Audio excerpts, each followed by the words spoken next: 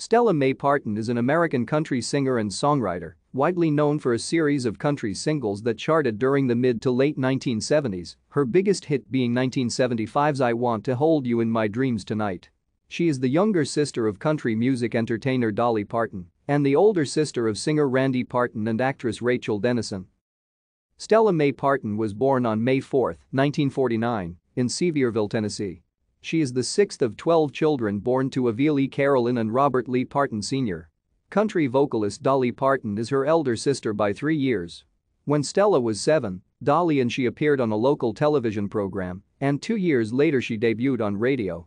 During this time, Stella and her sisters Willadeene and Cassie formed a group who sang gospel music and made commercials around eastern Tennessee.